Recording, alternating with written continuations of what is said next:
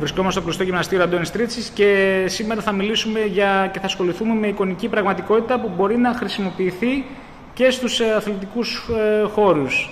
Ε, έχουμε κοντά μας τον Χρήστο Γκούμα και τον προπονητή του Ασία Κεφαλονιάς στην Επιτραπέζια της Φέρηση, τον Χρόνη Πολίτσι, για να μας μιλήσουν για αυτή την ιδιαίτερη αλλά και πολύ ενδιαφέρουσα εφαρμογή που μπορεί να εδώ δίπλα μας είναι ο συνεργάτης και συνάδελφος ψυχολόγος διδάκτο στη Κύπρο Χρήστος Γκούμα, ο οποίος θα του δώσω το λόγο, που είμαστε εδώ και χρόνια συνεργάτες από το 2014 με την Εθνική Ομάδα Ατόμων με Αναπηρίες και θέλουμε να φέρουμε ένα πρωτοποριακό κομμάτι στην ένταξη του αθλητισμού και όχι μόνο του παρολυμπιακού αθλητισμού αλλά και των, των κανονικών αθλητών, των Ολυμπιακών καθώς επίσης και του μαζικού αθλητισμού της διασκέδασης.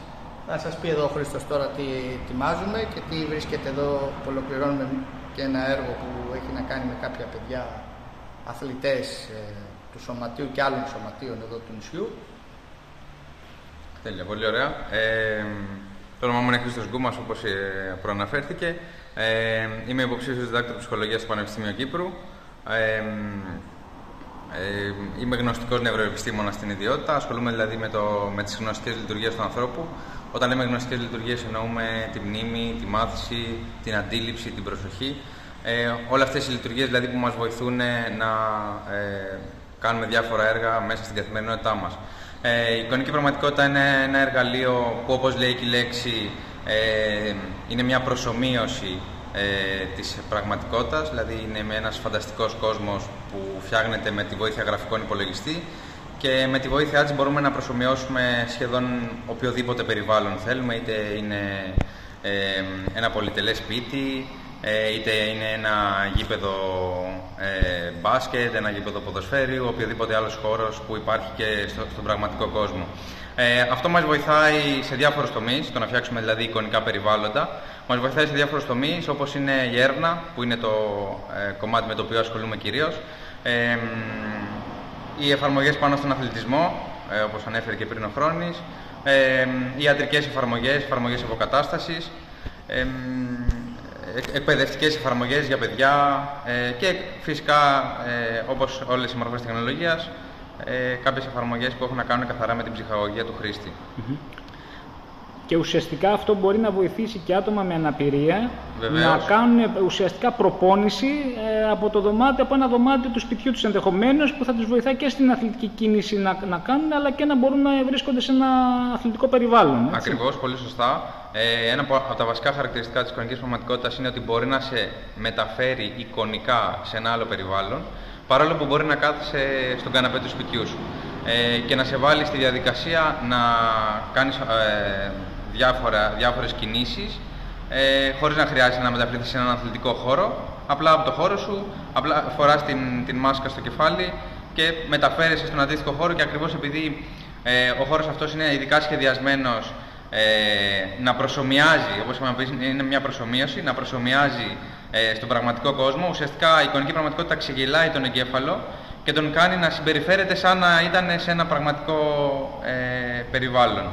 Ε, όπως πολύ σωστά είπες, μπορούμε να το χρησιμοποιήσουμε για την αποκατάσταση ατόμων με αναπηρίες, στο κομμάτι ότι ε, πολλές φορές οι κινήσεις ε, αυτών των ατόμων ε, είναι περιορισμένες, επομένως μπορούμε να δώσουμε διάφορα ερεθίσματα μέσω της εικονικής πραγματικότητας, ε, προκειμένου να βοηθήσουμε στο κομμάτι της αποκατάστασης, ε, και για ψυχαγωγία νομίζω ότι είναι ένα καλό εργαλείο, αλλά νομίζω ότι στο κομμάτι της αποκατάστασης είχε, έχει και θα έχει πάρα πολλές ε, και δυνατές εφαρμογές. Αυτό έχει ξεκινήσει να εφαρμόζεται και εδώ στην Ελλάδα και στην Κεφαλονιά. Πότε θα μπορούμε να πούμε ότι ε, μπορεί να εφαρμοστεί σε κάποιους ανθρώπους, ας πούμε, σε ένα ε, ευρέως διαδεδομένο έτσι, περιβάλλον. Εντάξει, αυτό έχει να κάνει και με την, το πόσο διαθέσιμη είναι μια τεχνολογία. Δεν είμαστε ακόμα σε αυτό το επίπεδο, δηλαδή όπως είναι π.χ. τα κινητά, ε, δηλαδή ο καθένας να έχει από ένα στη, στην κατοχή του.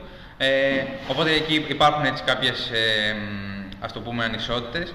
Θεωρώ όμως ότι αυτή η τεχνολογία ξεκίνησε περίπου το 2014, τουλάχιστον η τελευταία γενιά αυτής της τεχνολογίας. Ε, Επομένως, όσο βγαίνουν πιο εξελιγμένα μοντέλα και γίνονται μαζικά διαθέσιμα στον κόσμο, θεωρώ ότι θα ε, υπάρξουν και αντίστοιχες ε, δυνατότητες από τον κόσμο να το έχεις στο σπίτι του και να, χρησιμοποιήσει, να το χρησιμοποιήσεις καθημερινή βάση. Το μέλλον είναι εκεί, πάει στην εικονική πραγματικότητα; Ε, εντάξει, νομίζω ότι είμαι και προκατηλημένος, αλλά θα πω, θα πω ναι. Ευχαριστούμε πάρα πολύ. Να είσαι καλά, να ευχαριστούμε. Εγώ το μόνο που έχω να πω είναι ότι ο Χρήστος ήρθε την πρώτη φορά που τον έφερα ήταν την Παγκόσμια ημέρα στην εκδήλωση που είχαμε κάνει στην Δημερίδα με το Δήμο Αργοστολίου και την Πρόνοια στο θέατρο το Δεκέμβριο του 2021. Εκεί έγινε η πρώτη παρουσίαση που είχαμε ξεκινήσει. Στη συνέχεια προμηθευτήκαμε τη μάσκα μέσω της εταιρείας της Πίκο σε μια συνεργασία που έχουμε ξεκινήσει με τον Χρήστο.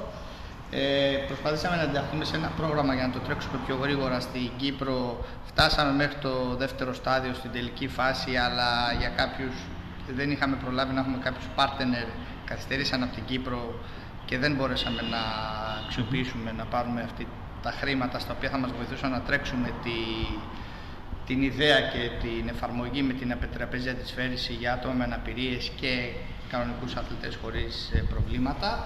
Βέβαια συνεχίζουμε να το δουλεύουμε από μόνοι μας αυτή τη στιγμή και πιστεύουμε ότι στο μέλλον θα το, ίσως να, το, να, να βρούμε κάποιο άλλο πρόγραμμα ώστε να ενταχθούμε.